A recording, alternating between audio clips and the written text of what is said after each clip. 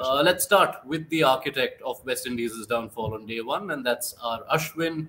Uh, didn't get to play uh, that WTC final, has so often not got to play in away games, uh, but comes back into the team and does what he does. Test match fifers seem like breakfast for him.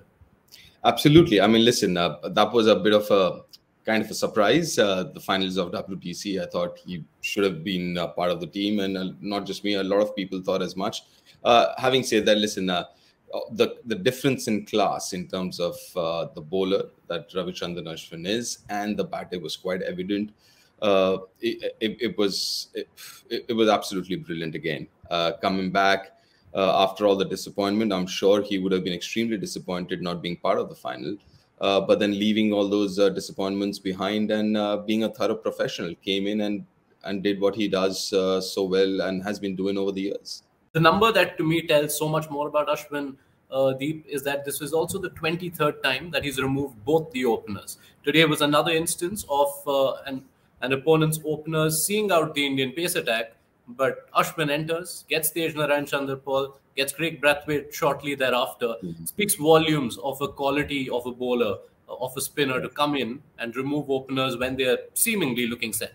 Yeah, um, uh, listen, if you look at uh, his record with the new ball, I guess it's one of the best going around, including fast bowlers. I mean, because he's so good at it and he's so used to it as well. I mean, at home, uh, very, very often we've seen him uh, bowling with that new ball. Uh, and he's got all the variations. He obviously is very, very lethal with that new ball, especially against the left-handers, because he does get the ball to turn a bit.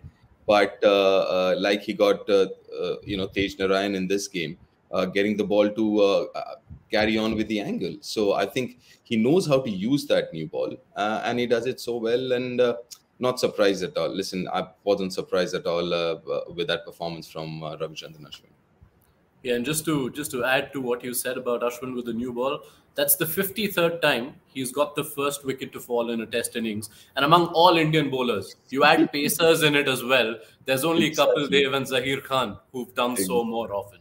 That it, it, is Ashwin. Exactly that that that's him that's him. And again i mean just to elaborate on on not just not just him bowling with a new ball but also the variations the pace uh, variation in pace and the others that he's got bowled a few carom ball uh, bowl that uh, you know the slider as well. So uh, he's he's got so much in his armory and he knows how to use it as well. It's, it's one thing to have those skill sets but knowing when to use it I mean, there is. I mean, he's he's one of the modern day greats. He's uh, obviously when he finishes his career, he'll end up being one of the greatest ever.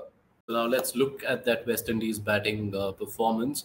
One name uh, stood apart, and that was the debutant in Alick uh, Athanaze, who compiled 49, looked steady, was a good mix yeah. of caution and aggression. Uh, what did you make of uh, Athanaze's first go at this level? He he looked solid. He looked composed, like you said, and uh, the fact that you know you uh, he he was the only batter, I think, uh, and that partnership with Jason Holder was the only time that West Indies looked like you know uh, uh, they they would pose any kind of threat uh, to the Indian bowlers. So that that was the only pair, to be honest, and he definitely looked very very good. not just the skill set, both attacking and defensive, was very solid at defense. One of the things we uh, uh, we tend to overlook is is the defense, the defensive technique, and especially in this format, it is so so vital to have a really good defensive technique. And it seems like uh, you know he definitely has a very good defensive technique. And apart from that, obviously scoring areas and scoring shots would always be there, especially a player of this generation. Uh, but also the temperament, uh, picking up the right you know deliveries to play his shots the shot selection everything else unfortunate uh, in fact the ball that he got out to the shot i thought was on obviously execution wise uh, didn't uh, didn't happen for him uh, but i thought you know there's something that uh, uh, should excite the west indies cricket fans would you would you say it was an innings that was made to look even better by the ineptitude of uh, some of the batting around him? Yeah, some of the other uh, uh, batting was ordinary, and I'll be very, uh, you know, uh, forgiving if I say ordinary, uh, because there was nothing much there. The top four, five batters, it's it's just been, you know, it's it's quite disheartening as well to see see the approach and way. Listen, they there are good players because they have scored runs in the past, but that consistency. I mean, that's something that that is lacking, and and that's something that's bothering him. So you know, let's say out of the four innings, you'll have, you know, the top five, six, uh, them scoring uh, maybe one in one innings and all, but that consistency of you know getting those big scores and and and piling up those runs that's not there. And that's because i, I don't know lack of application lack of uh, temperament.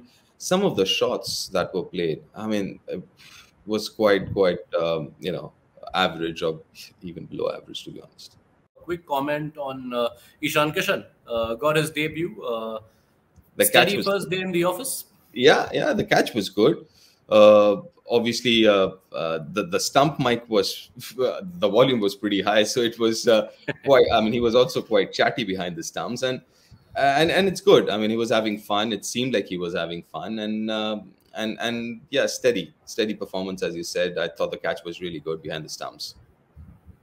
Yeah, and speaking of uh, steady debutants, yeah, we got a good look at Yashasvi as well. Uh, hopefully, a lot more to come on day two. Uh, but in this initial phase, uh, India getting to 80 for no loss in the 23 overs they batted, uh, and Jaiswal uh, didn't seem troubled at any phase of these 20 odd overs. He wasn't, and listen, he looked extremely comfortable. Obviously, I mean, if you think about it, he got off the mark after what 16 deliveries, so obviously he he showed a lot of uh, you know calmness out there which is uh, i mean it's it doesn't come easy for a debutant i can tell you this much. I mean you really want to get off the mark uh, in your international on your international debut. And but he he looked calm he looked collected. And uh, two extremes the you know the the first run after 16 odd deliveries and also the last over. Uh, last over he played a reverse sweep uh, second ball he stepped out uh, when you know you generally you would expect the batters to play for the end of day and you know last over just see through that. Uh, i mean that just says a lot about him uh, uh and and his approach. So yes everything whatever we've we've seen of him on day one uh, is, is was very very good. I mean temperament technique approach you name it and and it was there uh, and and you could see that he's got it